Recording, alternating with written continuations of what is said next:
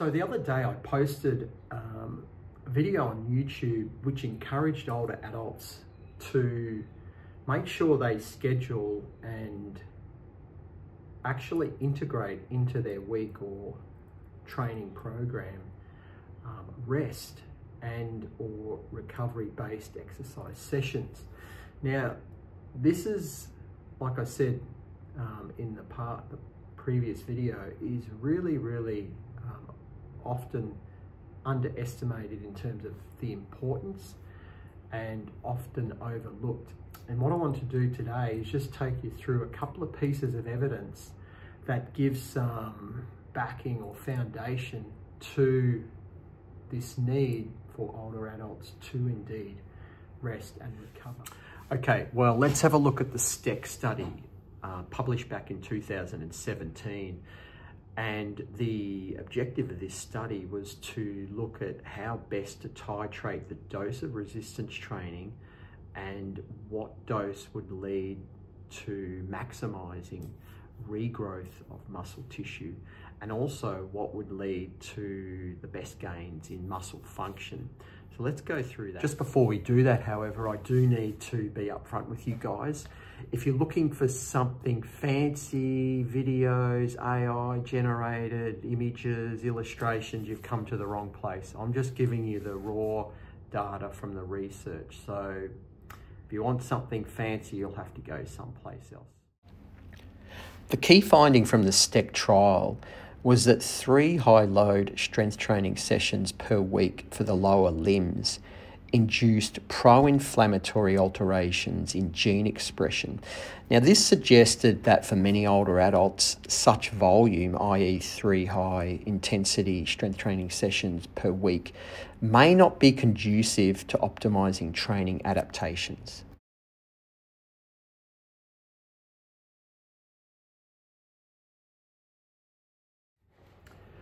The cytokines related inflammatory responses that were investigated in this trial are very interesting.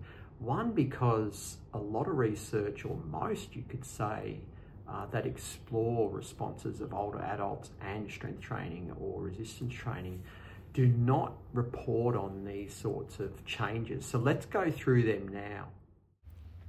What these results demonstrated was the older adults that performed strength training three times per week with heavy loads, they experienced a pro inflammatory response as represented by the cytokines related measures. Substantially higher cytokine related elevations were recorded in the older adults that did do strength training three times per week with heavy loads. Now, one could postulate that maybe you need some inflammation to get gains in strength and or function. But the thing was that the other group where they didn't do through strength training with heavy loads three times per week, they actually did it twice per week with heavy loads and replaced one of the heavy load sessions with a lighter, faster, power related session they actually experienced greater strength gains and greater functional gains um, in that particular group. And it would be remiss of me to mention that not only was there greater strength and functional gains, that the skeletal lean body mass or muscle mass was best achieved in that group that did the two heavy sessions with the one lighter, faster strength training session per week. Let's now just take a quick look at some of the adaptations that were made in the groups and what differences existed. So you can see in this first graph, this looks at total body lean mass changes in grams over the duration of the study, which was 35 weeks. And you can see that that HLH group, the heavy, light, heavy group, had the greatest total body lean mass changes versus the other groups. In terms of the changes in the thigh, i.e., quadriceps muscle mass changes in grams, once again you can see that the HLH group had the greatest alterations in this muscle mass. So, once again, showing superiority over the other groups for this indice. For changes in leg extension capacity to express strength during a leg extension movement, so this is looking at quadricep strength changes. Once again, you can see that the HLH group had the greatest changes in this particular parameter. And finally, and this one's the real kicker, if you look at the highlighted area of this table in orange, we're looking here at VO2 consumption at steady state during walking and also heart rate heart rate changes over the duration of the trial. Now, the only group that made significant improvements in these measures was the HLH group. So they showed better efficiency in terms of walking at steady state. So just walking along, there was less oxygen used to, to perform that activity, meaning they were more efficient. Additionally, their heart rate was lower at that particular level. So their, their cardiovascular efficiency and their fitness improved above and beyond the other groups. Summarising then, replacing one of those heavy load strength training sessions in the week with a lighter, faster, more power oriented session, that nullified this pro-inflammatory response and that resulted in greater benefit across the board in skeletal muscle, in muscular strength, and in function. Look, now, interestingly, the results that I've just canvassed, they relate specifically to the lower limbs. And what they found with the upper limbs was a little different. Now, they didn't explore in inflammation or inflammatory markers in the upper limbs, but they did find that the heavy load resistance training performed three times per week was the, was the most effective. So there could be differences between what the lower limbs require and what the upper limbs require in older adults. However, this is something I'll explore in another video. Here's a quick look at those changes in the upper limbs. So we're looking firstly at the arm muscle mass changes in grams. Uh, and you can see that that HHH group, so the three heavy load sessions per week, resulted in the greatest change in arm muscle mass over this 35 week period. In relation to the changes in arm curl strength, so i.e. a bicep curl, you can see once again that the group that performed three heavy load sessions per week over that 35 week period uh, showed the greatest changes in strength versus the other groups. So the arm muscle mass changes or total arm muscle mass changes over that period of time did correlate with these changes in arm curl strength. The second study that we'll go through today is the Orssatto and co-workers study from 2018 and this explored neuromuscular and functional recovery in older adults unaccustomed to strength training following just one session.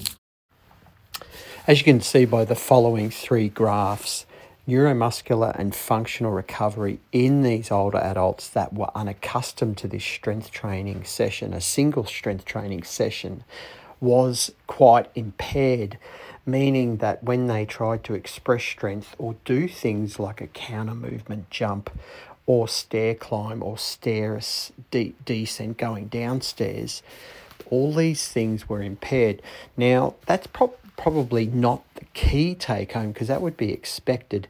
It's more the recovery after 72 hours where the data still showed that there were many participants that still had quite impaired neuromuscular function and also functional indices like stair climbing, etc.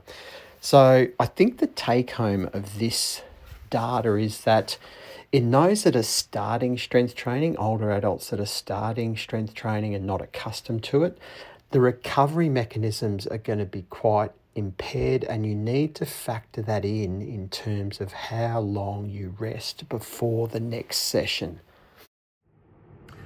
The implications of this research, when you look at the data, when you look at that delay in terms of recovery of neuromuscular and functional capacities, is that you need to be very careful in terms of post-workout activities. Like in that first 72 hours, because there is this impairment of function, of muscular function, of doing things like going upstairs, changing direction, etc.